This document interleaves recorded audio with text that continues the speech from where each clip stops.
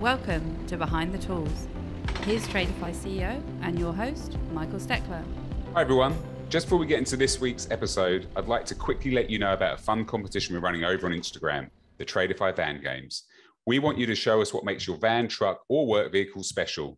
Whether your wheels are worth showing off or ready to be replaced, share a picture with us on Instagram and be in it to win cash prizes and tool bundles. Now, there are prizes for the best overall setup, the most unique, and the rig that is in need of the most TLC. To find out more about the prizes and how to enter, please do head over to our Instagram page at Tradify HQ.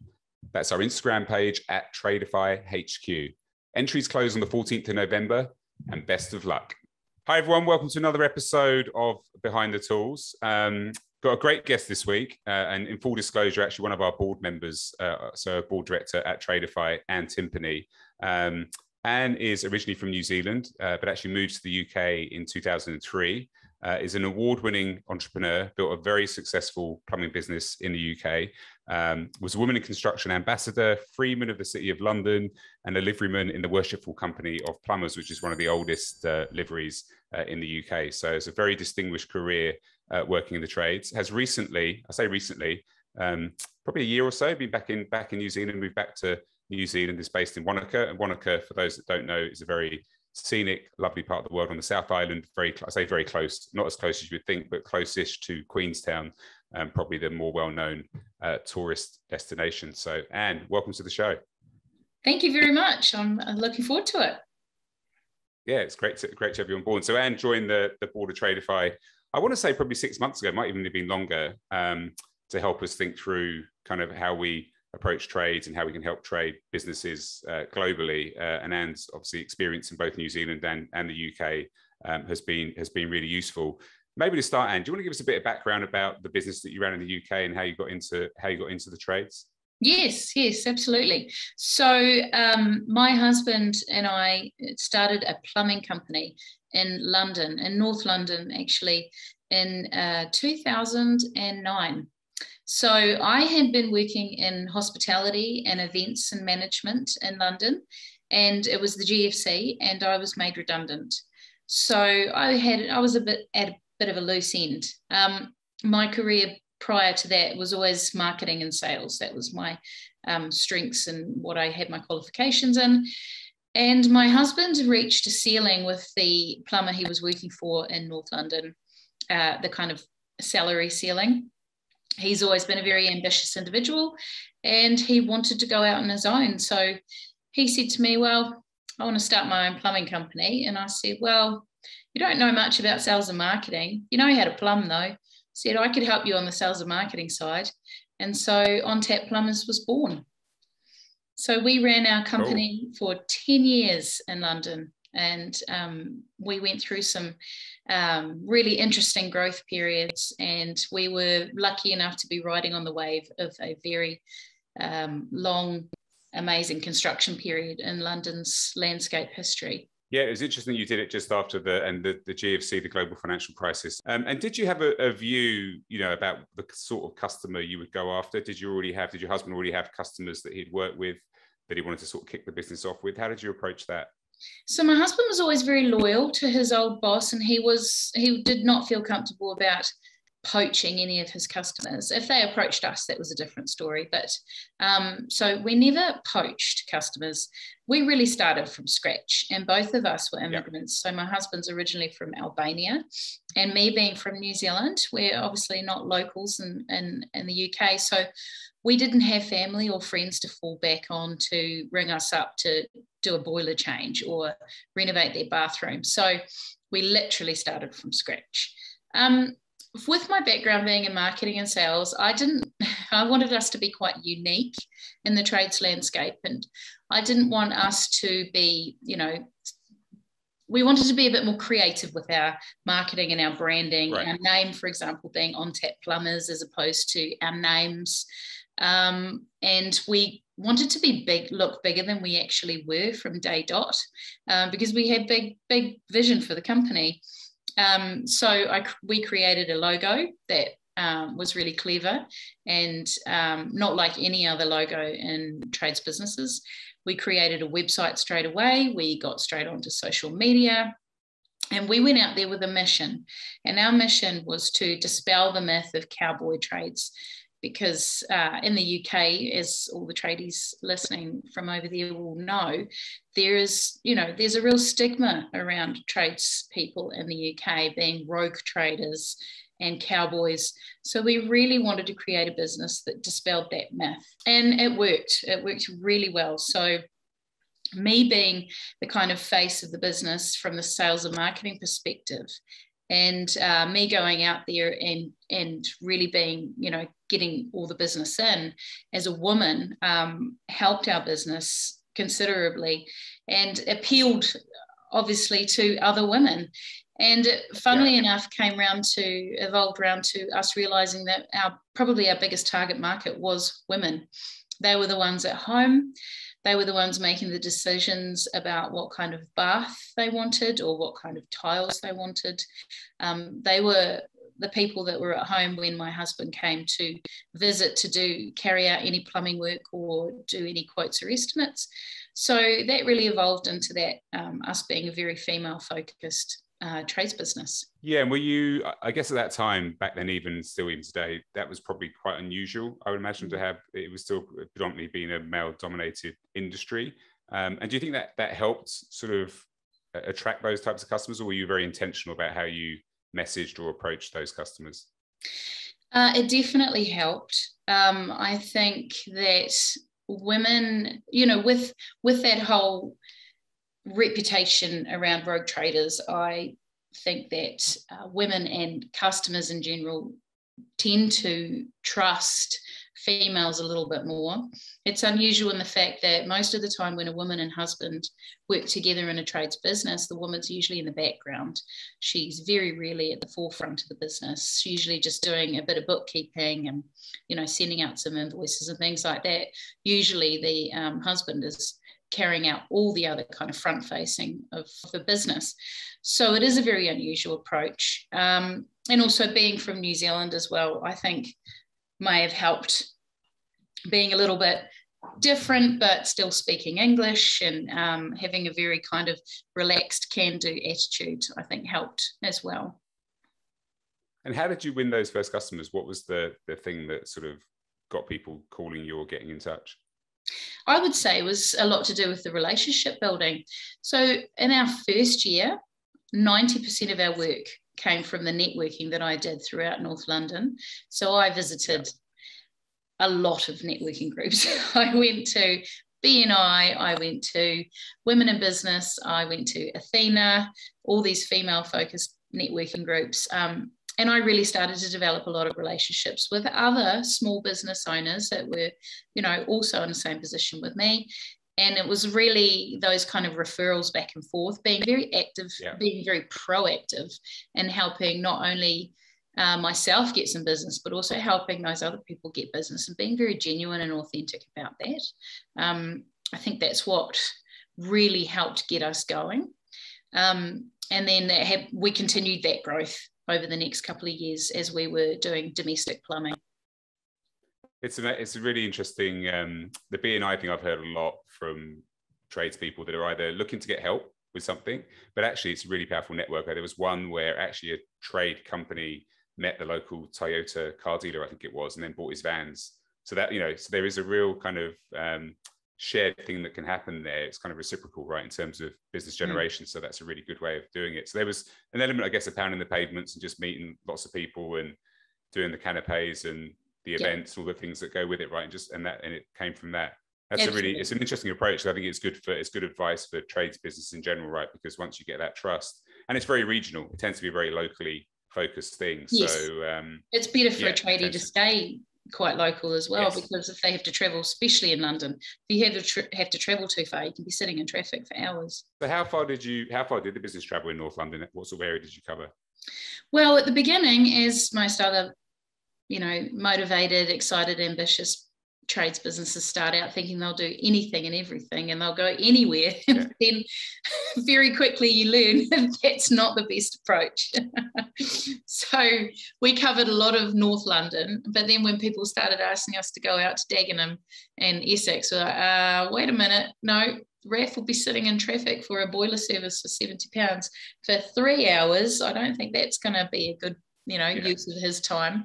So then we started to really funnel down and be a lot more focused and targeted about what we did. So that was when I um, started to apply for local business awards um, yeah. and get local PR. So we um, won a business award in Hertfordshire, and that got um, in the Herts ad, the local publication there. Yeah. Um, and then that started to drive up a lot more interest in our business and, and um, a lot more phone calls. Yeah, cool. It's a really, it's a really interesting approach. You went for the PR, the awards, the networking. Um, it's a pretty powerful way of, uh, of approaching things. Mm. One of the other sort of questions I had around that, how did you think about sort of pricing? And, and I asked that in as much as I read a horrific stat recently that 50%, lots of trades businesses are growing. The industry as an overall uh, looks like it's in pretty good shape. Um, but there's still like half the businesses aren't profitable. And you know, one of the reasons that we see most commonly is people just don't price things by their time or their supplies um, correctly. How did you approach that as someone who sort of didn't come from the trades? How did you think about charge out rate, those types of things? We did a market research. Um, and my husband had um, obviously a bit of experience with that, yeah, working yeah. in his prior role. So he knew quite a lot about um, pricing and charge out at that point. There's other expectations in the UK things like you know once you get to somebody's house they only want to pay you for exactly the amount of time you were there and that can be quite frustrating for a tradesperson because you've traveled halfway across hertfordshire to get to yeah. um, that person's house and then they're going to have to travel back again so people don't tend to take that into consideration in the uk it's no, very different no. in the new zealand but I'd like to point out they charge for that time. Um, yeah. But in the UK, no, people don't want to charge for that. So when it comes to call outs, that's why I'd say a lot of businesses try to vie away from call out so much because of that issue with the pricing. Once you start looking at things like boiler installations, which for us as a gas engineer firm over there, we uh, did quite a lot of boiler installations and they were very profitable for us. Um, and they and and there you've given them a set price and a fixed price right. and you put your markup on it and you estimate how long it's going to take you usually a day or two depending on you know the complications and, and the way the system is in the house um, so those are always a lot more desirable because you didn't have to worry about those conversations that you were going to have with the customer yeah. at the end of the job when they get the invoice. About the journey time. Yeah, yeah, yeah, yeah. Yeah, yeah it's interesting because if you're in North London, you're going to Hertfordshire, yeah, you're looking at, you know, that's a two hour round trip if you're lucky uh, mm. depending on the time that you leave. So that is actually quite. And if the job's only a two-hour job, mm. suddenly you're paying, you know, half of the total value. So it's uh, yeah, it's just a thing that we see. I think we see commonly a lot of trades companies make the mistake of either not setting a high enough figure, um, sometimes saying no to customers. Did you experience any of mm. that in terms of picking the right customer that was prepared to pay the the appropriate price for the jobs that you how did you filter jobs initially when you was first starting oh. the business to not end up with those kind of sort of jobs where someone really wanted the cheapest price and you're never going to make money on it or did you do some of those jobs to sort of generate word of mouth well so absolutely because there's um, uh, a few websites in the uk where you can bid for jobs and usually people yeah. on those websites are looking for the cheapest quote um, and anyone that kind of comes to you that's generally not from a recommendation or a referral or somebody you know. They are often just looking around for prices. So the ways that we used to eliminate or have a criteria around those kind of people were how many other quotes have they got? So find out from the right. from the customer. Yeah, have you yeah. called five different plumbers? Um, and then you know that they're just looking for they're very price driven so we just forget about yeah. those. Uh, we'd say we wouldn't just stop answering the phone to them we'd have an approach along the lines of we're very busy at the moment. Perhaps you should call someone else to be completely honest. Um, yeah but yes, no, you start to learn uh, quickly who's going to pay you and who isn't, and who's going to make things difficult for you and who isn't, because you're yeah you're always going to get that definitely in a trades business. Yeah, and then what was the sort of turning point for the business? Was there a moment in time where you sort of when did you scale employees and how did you plan for that? Was there a moment where you could just see the level of work was too much and you made that decision? How did you how did you think about that? So we decided to move away from domestic plumbing. Um, I think it was about 2012. So we had a, uh, a client come to us and he was building his own firm. He had originally started out as an electrician or electrical firm. He was moving into mechanical engineering and he was looking for subcontractors to be able to carry out these kind of larger scale commercial jobs. So we started working for him. Started on a small scale, but as he grew, we grew alongside him. Um, what we started to see with those jobs were that they were Monday to Friday. So it meant that uh, my husband didn't have to be working on the weekends or out of hours. It also gave us guaranteed work. So we weren't um, waiting for the phone to ring. We knew that we had six months worth of work lined up. Um, we never created growth targets. We didn't have to. The growth, actually, our problem was controlling the growth and not getting too big too fast. Um, and we definitely didn't focus on the staffing and how many staff we were going to need for that. And that's one thing um, that if you are really considering about growing your business and scaling up, you need to talk to an accountant. We had an amazing accountant who made it very, um, very, um, you know, she laid it out for me in a great detail uh, how if you reach a certain uh, turnover level this is how many staff you're going to need and when i started to see that on a bigger scale and then started to understand how much that meant I was going to be having to pay the wages and how much national yeah. insurance contributions and how much pension and things like that. Then, um, you know, that kind of foresight can help you really understand how quickly you want to grow, whether you can grow quickly. Um, so that's when we that was kind of further down the track, but we actually um, yeah. started taking on those works, and we started doing a few, a few more and a few more for him, and then that um, very quickly became our main um, service was the commercial side of it. And I do remember distinctly my husband and I having a conversation one day saying, right, if we're going to do this, we have to say no to all of our domestic customers moving forward. And we just have to purely focus on this. And we were scared. We were so worried that we were turning down all this business on the domestic side so that we could focus on the commercial. Um, but for us, it made sense because we had at this point two young boys at home. Uh, we were both trying to run the business full time, and uh, it was exhausting, absolutely exhausting. But it does mean that you have to change a lot about the way you run a business if you're going to move into those bigger jobs. Yeah, there's a there's a sort of couple of questions there. One, did you did you hand off that domestic work to another plumber? Did you have someone else you could trust that you sort of funneled those those people to? Yes, yeah, we did. We yeah. did indeed. Yeah.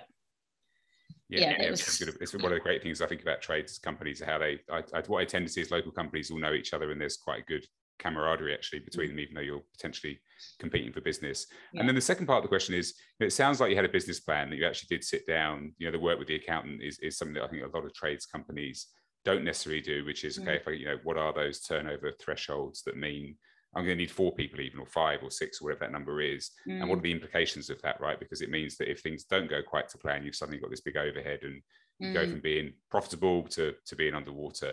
How mm. did you did you have a did you have a number against that? Did you have a plan, or was the, the work that you could see that was going to come? How did you approach that with the accountant? Did you sort of have a, a vision in terms of how big the, you wanted the business to be? Yes, we did. We did have a vision, um, and we had that was very much tied into the lifestyle vision as well, the lifestyle yeah. that we wanted to have. Um, you know, it was all around those things that you'll do with a financial advisor, where you know you want to have a house in St Albans and it's going to cost X amount, and you want to have an income of X amount. Um, and what is that going to mean? You know, how are you going to achieve that from your financial looking at your turnover? And as your, your turnover grows, your margins go down actually from yeah. s- certain points around the 1.1.2 million pound mark. Um, our margins started to go down. Um, so that's something that was really, really eye opening for us. because um, everybody gets so excited about the concept of scaling up their business. Yeah. But actually, yeah. if you're living in it, it's frightening. um, it was we had to then once we got over that point we had to also create cash flow forecasts. Um, so once you're in a commercial carrying out commercial contracting you are not, you know, your payment terms are completely different. You're not getting yeah. paid straight away or within 20 days of sending out your invoice. You have to put an application in and then you have to wait to be paid for 45, sometimes 60, 90 day periods. So you yeah. have to start looking at cash flow forecasting and then you have to apply for overdrafts. And so it gets a lot more complicated at that point. Um, yeah, so that was um, a big big turning point for us and why you know as i said earlier yeah. your business systems and processes have to change completely. It does. I think that's one of the reasons it puts some trades companies off when they're sort of one to i want to say one to four people but sometimes even one to two people because there is that you're right you, you jump through a threshold where there is complexity probably more risk ultimately because you've got a bigger team and a lot you know, more job falls over. Yeah there's all that risk to deal with, so it's more stressful. Um, mm-hmm. So I don't think that should be underestimated. And then, sort of, how did how did it go? I mean, obviously, I know I know the end sort of story. That went very well, but do you want to maybe walk through the things that you think drove that drove that growth in that period? Because at some point, one point in time, you had at least seventy plumbers on the books yes. was working for you. We had uh, about seventy plumbers working for us, which was which was I'd say um, it was either it was a fortnightly wage um, transaction going out of about a quarter of a million pounds at one point, which was exhausting and stressful and very risky because we were always having to pay our labour before we were actually getting paid ourselves. So yeah. that's um, that's not for the faint-hearted, I'd say. Um, it, what it did, it, it got us because there's not very many firms that can actually operate at that level in plumbing. Um, it and it was a very quick path for us. So we had to learn very quickly. We had an amazing couple of mentors people that we could uh, speak to directly which not all right. um, firms have. So uh, my husband became very close with um, a, a, guy that was working for a major um, contracting firm and Raf was very good at developing those kind of relationships and getting kind of information out of people. And um, so we had an amazing mentor, and he helped us no end. It was um, invaluable. Um, yeah. And what we did end up getting was these amazing opportunities to work on these architectural buildings that have completely changed the city of London landscape. Uh, we got to work on, you know, the um, Gherkin. We got to work on the walkie talkie, yeah. the cheese grater. Um, we also got involved in a few uh, amazing projects like the new Facebook headquarters, and we did Amazon's fit out. So, and then finally, oh, that the uh, hmm. King's Cross one or the? No, the one at Liverpool Street Station. Liverpool Street. Oh yeah, yeah. Yeah. Um, and actually, probably the most amazing job that um, not many plumbers could say they've ever done is doing the Queen's heating system at Buckingham Palace. That was the last job that my husband did before we left uh, London. So to have is that why you left London? Did you make Did you make a mess of it? You Scarpa. no, I don't I think it's so. Freezing anyway. at the palace. We've run away now. They can't find us. so that was really exciting to be involved in. Yeah, it's amazing. Life changing and you know buildings um, to have that on our portfolio is, is yeah pretty cool. It's incredible.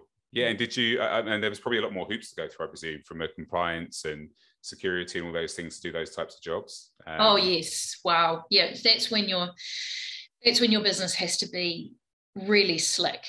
On health and safety is so important at that level. Um, they want to see your financials. They want to see your profit and losses before they're going to give you a job.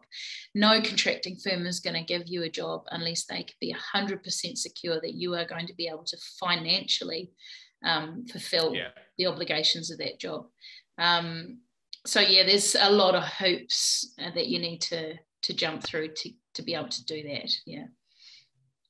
That's really cool. I mean Gherkin walkie talkie mm. Queen um, yeah. it's it's an amazing it's an amazing list. And if there's anything, I mean, I, I thought it was interesting you mentioned a mentor because I, I, was going to kind of ask you that question. I think one of the things that um, there's the business networks which can be useful. You could maybe find a mentor there, but that mm-hmm. probably is one of the most powerful things is working with people that have sort of been there before. But how did you, aside from the mentor, how did you deal with that sort of mental stress that you would have been under, sort of running a business like that, and certainly that shift from being a domestic plumbing company to suddenly having you know that sort of payroll and that that level of um, you know risk on board I was a very good customer of the Majestic Wine Warehouse.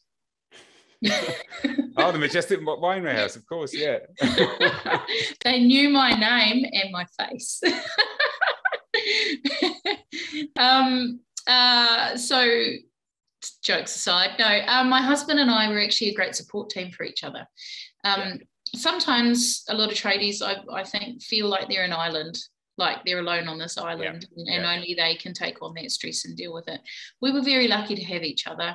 And um, I had a very different skill set from my husband. My husband has got an incredible technical knowledge and expertise, very good at the hands on stuff.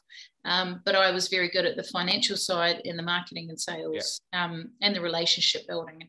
And we bounced off each other perfectly. You know, I think having that um, the two of us working very closely together and having that support system was yeah amazing for us to deal with that kind of stress to be able to you know come home from work and and talk about it and um, be very open about everything that's gone on because we're completely open and honest with each other which sometimes in business relationships doesn't really doesn't really happen. No. Yeah.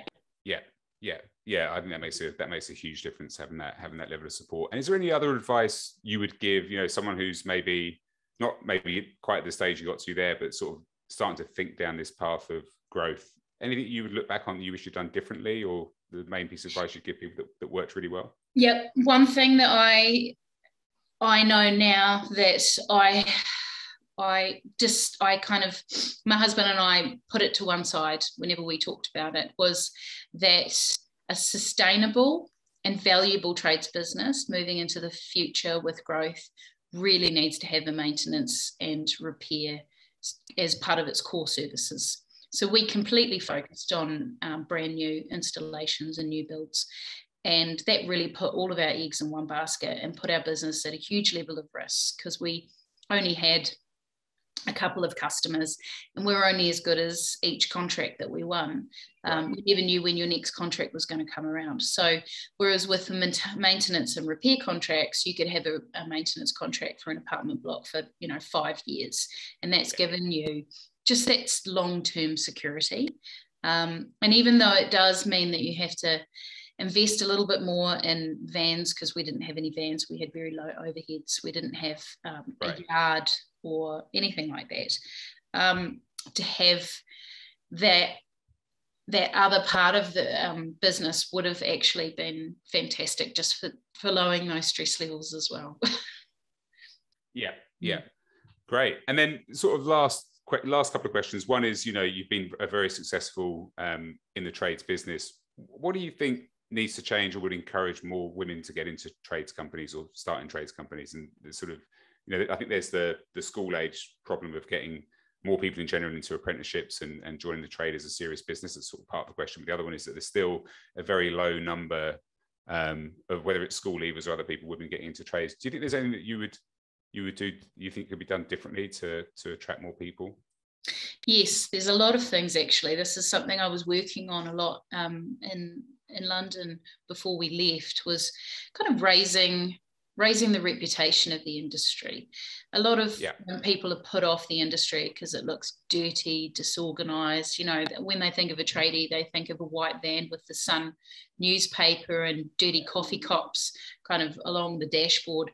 Um, I think if if every if you know if there were more people working within the industry to kind of raise it raise it up and show the amazing jobs that get done and the kind of work that's carried out and that real pride in that workmanship.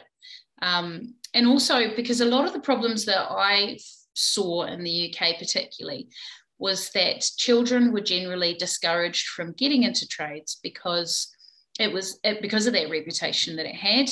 Um, because also it wasn't seen to be a very high earning industry, but it is very much so a high earning industry now. Um, women were generally, from my experience, encouraged into very traditional female roles like in early childhood centres or teaching or beauty therapists. Um, so uh, it is a much harder sell to a young girl to get into the trades, a much harder sell. Um, there's definitely in New Zealand a lot more females in trades than there was in the UK. Still not not huge levels, but a lot more. Um, so yeah. when it comes to women, I'd say it's a hard sell. Um, but for young guys, you know, we went to colleges and we talked to young apprentices about careers in commercial plumbing, which they'd never even considered or even heard of before.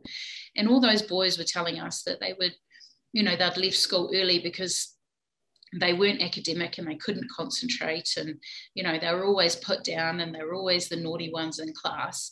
And unfortunately that's kind of that has followed through into the industry and its reputation. But there's some incredible movers and shakers um, in the construction yep. industry and people doing amazing things. And if we could just you know put them on a stage or really highlight them um, i think that might and engage better with educational institutions. I think that would help a lot.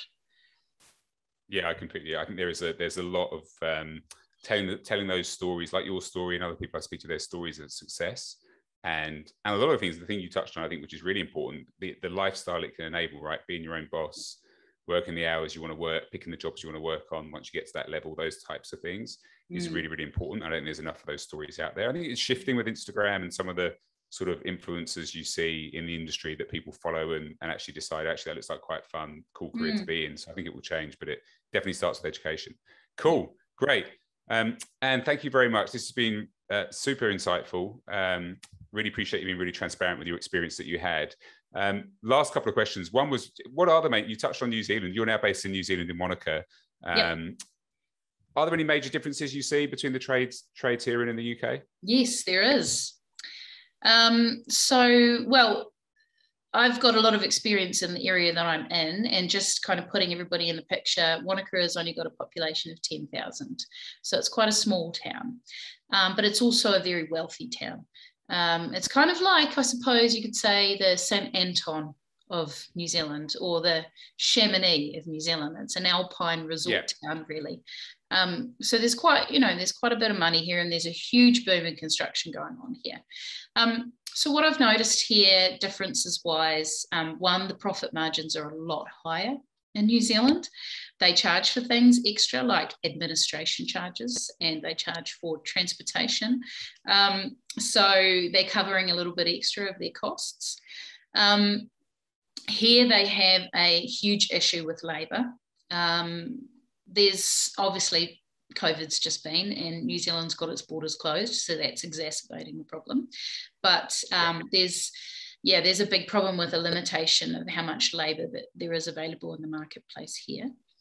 Um, the there's other really big difficulties for immigrants coming to New Zealand that my husband's experienced, in that he's had you know, years of experience in the UK doing amazing work and his knowledge is incredible, but he really has gone back to basics here in New Zealand and he's having to get requalified. And then after he's got his plumbing license, he has to then work under a licensed certifying plumber for two years before he can then become a certifying plumber. So in the UK, you can self certify yeah. your plumbing works, but not in New Zealand, you can't, not all of it. So that means you need to have a certifying plumber or a uh, qualification to be a certifying plumber for you to really run a plumbing company in New Zealand. So it's limiting, very limiting. Um, I would say as well, there are a lot of different products that New Zealanders, New Zealand plumbing companies are working with. In uh, the UK, there was a bit more innovation, quite a lot more innovation in the plumbing space um, in New Zealand, they you know around where we are anyway, this they're doing a lot more kind of traditional type of plumbing, and here uh, plumbers do drainage. Drainage is big, and plumbers get down there and they do the digging. Not in the UK, plumbers didn't get involved in that at all. Um, yeah. There's very loose regulations on the gas front in New Zealand because we don't have reticulated gas everywhere. So it's very loose. So you don't have anything like the gas safe register. Um, so it's we're really surprised at how loose they are on that front. And as well as that, they're very loose on the health and safety here. Yeah. Totally. Oh, really? That surprises yeah. me. Yeah. Yeah. Yeah. yeah. So that's just a few. Cool. Just a few things that are different. Yeah, the charge out thing is actually really interesting. I'm sure there'll be some UK tradespeople thinking about that because that, mm. that journey time, if you're doing those jobs, um, some of that's about how you select jobs, but some of it's actually should should there be additional charges? And uh, mm-hmm. I'm sure there's a lot of consumers would be happy to pay it if they understood the mm. ramifications mm. slightly more. And then the last um, the last few questions we always end on are a few quick fire ones. So I'm going to the first one: if you hadn't been running a plumbing business, is there another trade you've always uh, had an appeal towards that you would you would pick instead? So my husband said he'd be a welder. He was always quite interested in pipe fitting, which was a much more select um, and quite well um, well paid role in the UK.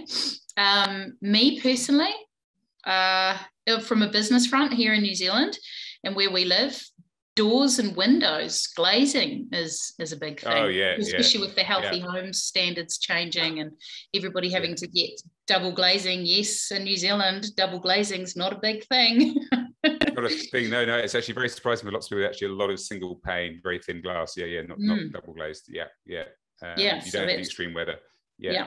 Well, it does get cold. Actually, I say that, but in Wanaka, oh, just for people freezing. said you compare to Chamonix, it does get very cold down there. And we don't have central heating, so it's freezing. yeah, yeah, yeah. Um, and the next question: go to tool brand or tool.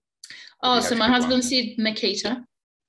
Oh, Makita, yeah, they're very popular. Do tend to be yeah, very popular.